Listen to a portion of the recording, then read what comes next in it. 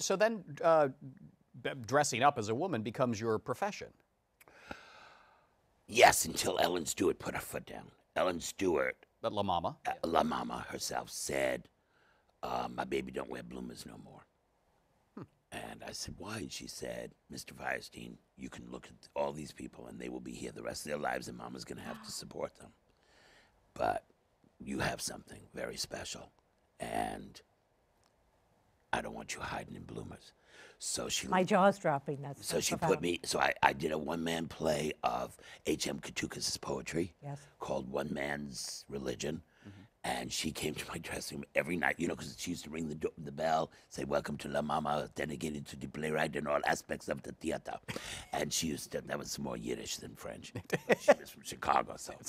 Um, and uh, she'd come to my dressing room before she made the announcement and take a tissue and wipe my face to make sure there was no makeup on it. Really? Mm. So she she saw the writer in you, Yes. not the performer, but the writer. Well, both. No, she saw the performer too. Right. Then when I wrote the first act of Torch Song Trilogy, you know, um, International Stud, she said, "Are you in drag?" And I said, "Only in one scene." She said, "I'm not going to." I said, "Mama, it's only one scene." I didn't tell her another scene. I was having sex in the back room bar.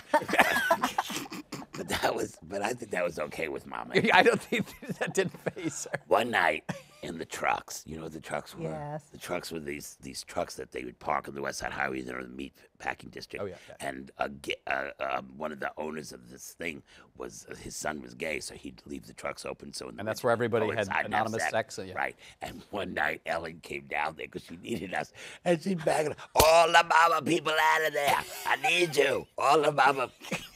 yeah. So Ellen know- wasn't upset about that. people, but, but, I- but people don't understand the crew here. That's what who, who taught me to be a producer, and I want to say I'm nothing on her. Nothing.